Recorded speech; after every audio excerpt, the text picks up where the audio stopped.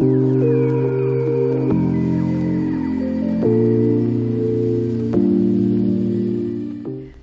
всем привет! Если вас замучил насморк, сильно болит горло, можно использовать вот такое вот средство. Это меновазин. Есть, наверное, в каждой аптечке дома у каждого.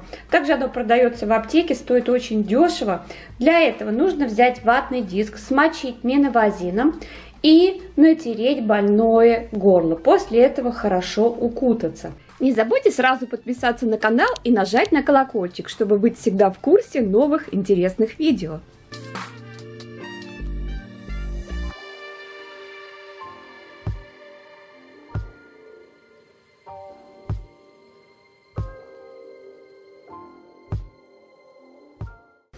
И еще от насморка полезно нюхать меновазин, поочередно закрывая ноздри. То одной, то второй. И вы знаете, буквально сразу наступает облегчение. Нос пробивается и дышать сразу легко. Попробуйте обязательно.